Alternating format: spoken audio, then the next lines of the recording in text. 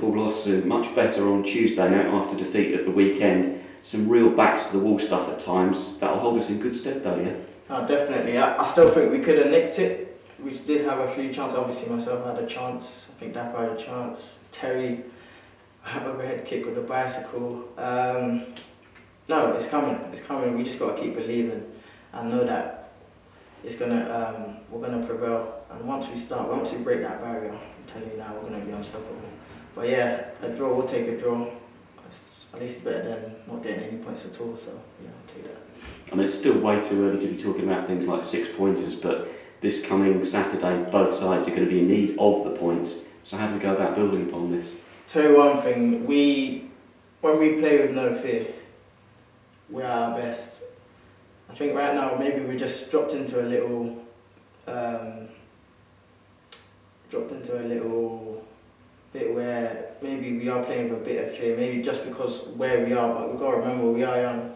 So that is completely normal, but we just need to get into that mindset, change that mindset now and just get back to how we was playing before with no fear, just runners, running, whether you're getting the ball, you're not getting off, um, getting the ball, you're just running for your, uh, your teammates.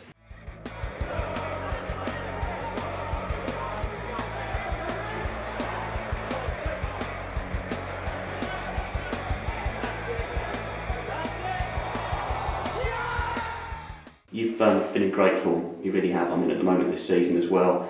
Um, do you feel you're approaching perhaps the best form of your career so far? Still got a long way to go, of course. I wouldn't say the best, but I still have games where maybe my teammates have said, oh, brilliant, you done well, but me, myself, I think just because of standards, I know I could have gave, given much better.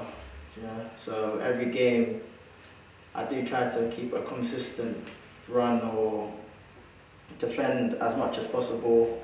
Defending is not my strength, but I still work on it week in, week out. I'm still working outside this training ground week in, week out, every day. Well, not every day, but I've got to take what I can, but be smart about it. But definitely, I would say I'm, I'm getting better every day. I'm getting better every day in every match.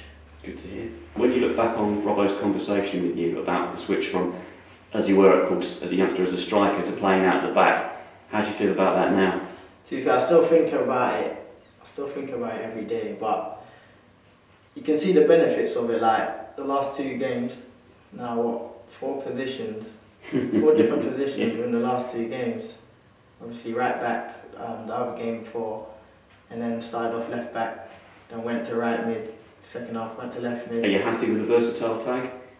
I can, only, I can only praise, I can, I can give that to I can praise yeah. Robbo. I give that to him because well, that would have been three out of the four. Yeah. You know what I mean? But no, that would have been two. I've only been left wing and right wing, but um, now I can play both sides, left and right. Obviously, I'm still developing as a player. Um, we went through clips just now as a team where also I could even um, get better as a winger. So um, yeah.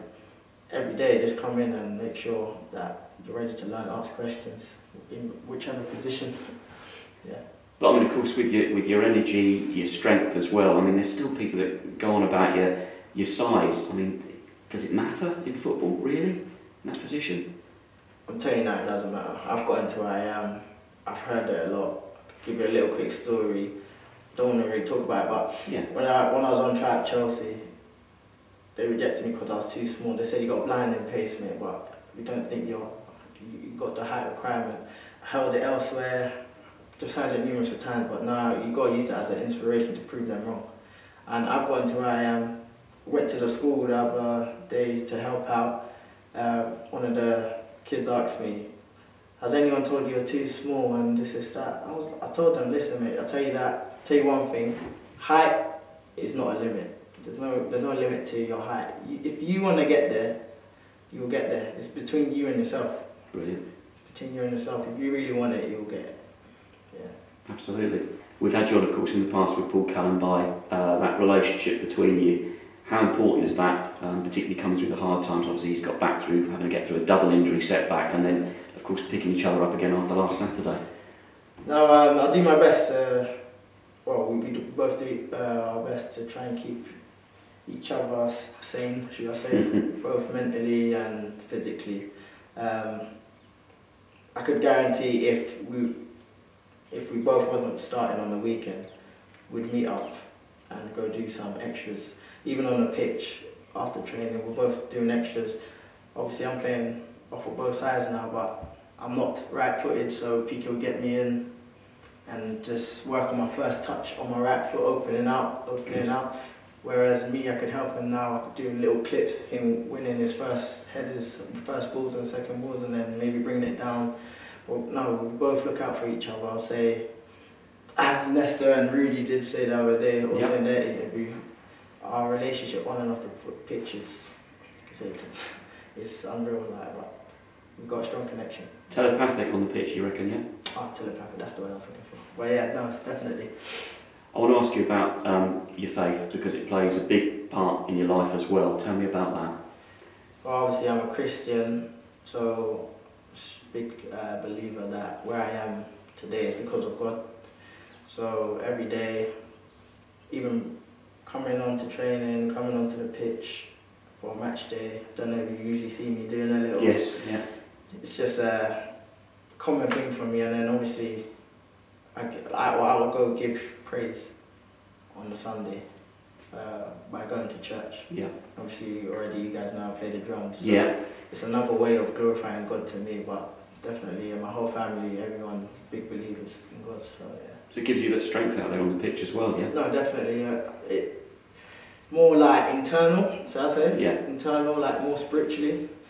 Um, no, but definitely, uh, as a strong believer, I believe that God's the one that has brought me to where I am today, giving me these consistent good runs I am having right now. So all I can do is give them back to praise. Yeah. brilliant. Yeah, we've got to talk about the drums. Play drums in, in church.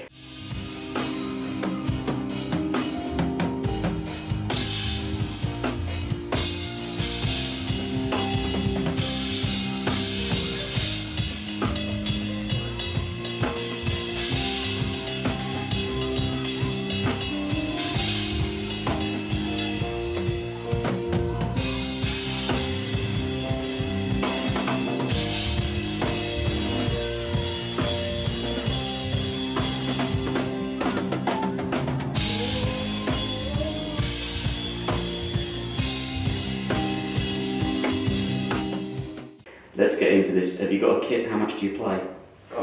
To be fair, I really don't. I don't get the time to really practice. So when I do go to church on Sundays, mate, I don't, I don't, I don't, I don't want to leave. Yeah, I don't want to leave, and um, obviously I have I have a eight-piece Mapex. fantastic. Don't know if you guys know about your drums like that, but I have an eight-piece Mapex. That's three toms going across, one at the bottom, hi hat, snare. Brilliant. I mean, I love cymbals. I've got cymbals everywhere, but um, nah. Uh, when I do go to church on Sundays, I don't want to leave the don't want to leave the surface. But yeah. Does it help take a little bit of the frustration out as well? A little Oh hundred percent, hundred percent. It just gives you that little bit of recovery as well. You're not really Yeah. on your feet. Yeah. Even though you are using your feet, you're using more of your hands, and it is more of a like a multi-task. You've got to like keep the beat whilst you're Well, the rhythm, yeah, to it and everything as well, yeah. rhythm, plus keep an eye on um, the lead singer. Yeah, You know, if you're the MD, the music director as well, like what songs or what punches are coming next, You've gotta be able to co- communicate. Also, oh, talking of that, I'll say communication. Look, stuff that is in football can be uh, brought onto teamwork as a group. As a group. So Yeah. communication, I've got to communicate to my bassist, my piano. Listen, I want to play this little punch here, but you got to get across. And if there's no communication, then not, everything's not aligned. How many hours of practice goes into that? Uh, so okay, Sunday, I'll start service at ten thirty. We'll be done around 12, 12.30. Then I like to stay around maybe about an, another hour to, it could be max up to another three hours. And I'm just there, just going Wow. hard, going hard. And then, Yeah. you know, next day I'm straight back in. Different sport. Yeah, different thing, straight back into football. But it is, I guess Sunday gives you that thing to at least just rest your mind from football yeah. and just relate back to obviously again God and your drumming side and then switching it back straight back to Brilliant, Monday. Yeah. What about genres of music? Do you, is there any specific genres of music, or is it? Um, mainly play gospel, so like contemporary. I am a big like. I've seen you wearing a Nirvana t-shirt. You know, I've seen That's it. Uh, but Afro beats. Good. I'm Yeah. in there. I'm in there. Um, Afro praise.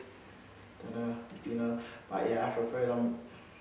I'm still working on different genres, but Yeah. definitely. Like, Are you o- open to opening it up a little bit more? As you no, no, definitely, yeah. So I've started looking at like jazz, bit jazz. Yeah. Can play a bit of R and B. Good. But it all comes to the simple things like knowing your rudiments. If you don't know your little rudiments, like your how your hands are meant to land, how you hold the stick, like the simple things, you won't get those right. So you've got to always start from the basics. Because they can be very quiet, but then of course they can be very loud as well. Yeah. So you've got to know exactly, exactly that. You got to know when to maybe come in hard, maybe play just with your snare. Mm. But yeah, that's for another. Fantastic. Yeah, really good stuff.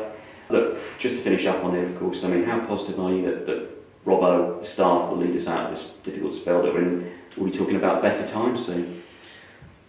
Listen, we got to look away from. I know we can't say we can't. Uh, we got to look away from where we are, but we are where we are. But the conversations that we still have is, lads, when we get out, when we get out of this, it's not if. So you can see that everyone still believes that we're going to get out of this situation, and I back ourselves that we will because we know how good we are. It's just about breaking that extra layer now. And I'm telling you now, when we break that extra layer, we're going to be unstoppable. Mark my words.